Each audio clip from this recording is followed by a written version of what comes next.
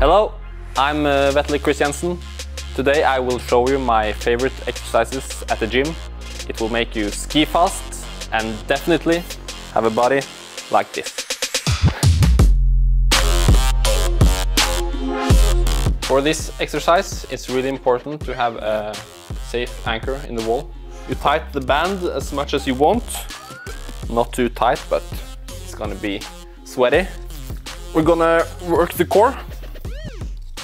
And it's really important to, to have your hip pretty in front of your body. Not like this, but like this.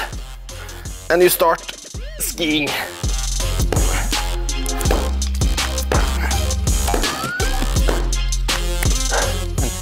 I feel it, even if I'm an athlete. This exercise is to make your skiing movement look better, both for skating and classic. I do three series of 20.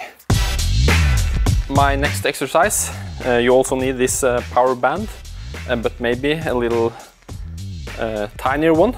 It's pretty good for your balance and your skiing technique. It's important to to stand 100% on your ski and have a good balance as well as strength in your hip.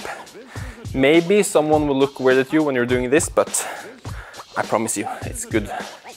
And you just locate your movement in the hip. This band is dragging you both to the left and down. And my left hip here is, ooh, is burning, but it's important to to only have a small movement and only in your hip. I'm in race shape, not training shape. So it's pretty, I have to do the other leg now.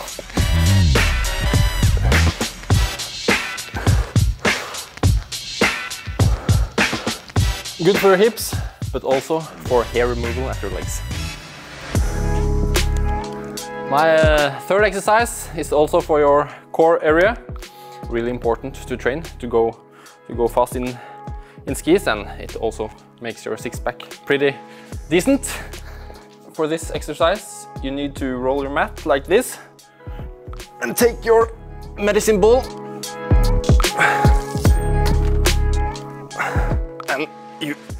join with the arms. And it's important to, to press your back against the floor and don't use your legs to help you move your hip. It burns here, in your lower part of your stomach. so guys, that was just some uh, general tips. But I'm not a professional training instructor, so be mindful and take care of your body. If it hurts, just stop.